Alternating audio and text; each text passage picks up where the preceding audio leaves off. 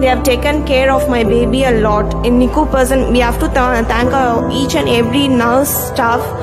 Uh, we have to thank them. Mm, They have taken care uh, like their baby. So no one can take care of no like that. So we are so happy for it. வந்தோம் எமர்ஜென்சிக்காக வந்தோம் பாப்பா வந்து thirty two weeks தான் இருந்துச்சு எங்களுக்கு memorable league ஆனதுனால சடனாக கூட்டிட்டு வந்தோம் பட் இங்கே வந்த அப்புறம் இங்கே தேர்ட்டி வீக்ஸு பாப்பாலாம் நல்லா இருக்கட்டும்னு எங்களுக்கு ஒரு ஒரு நம்பிக்கை வந்துடுச்சு நம்ம குழந்தை நல்லா இருக்கும். எந்த எந்த இடம் இருந்தாலும் ஏன்னா வந் பிறந்தது வந்து one point two nine four தான் இருந்துச்சு.